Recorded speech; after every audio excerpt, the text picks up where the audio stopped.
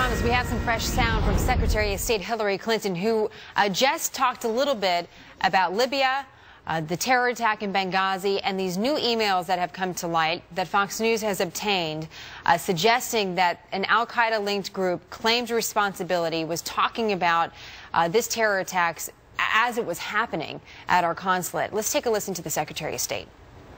Um, now, finally, on, on uh, Benghazi, look, I, have said it and I'll say it one more time. Uh, no one wants to find out what happened more than I do. We are holding ourselves accountable uh, to the American people um, because not only they, but our brave diplomats uh, and development experts serving in dangerous places around the world deserve uh, no less.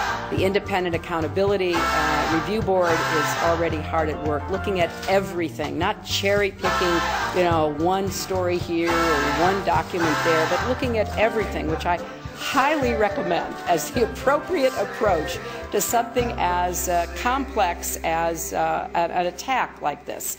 Um, you know, posting something on Facebook uh, is not, in and of itself, evidence and we will find out what happened. We will take whatever measures are necessary to fix anything that needs to be fixed, and we will bring those to justice who committed these murders.